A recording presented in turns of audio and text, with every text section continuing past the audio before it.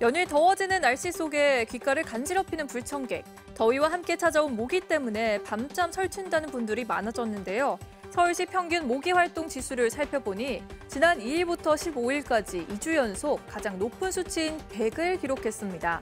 이는 쾌적, 관심, 주의, 불쾌 4단계로 나뉘는 모기 활동 지수 중 가장 높은 단계인 불쾌에 해당하는데요.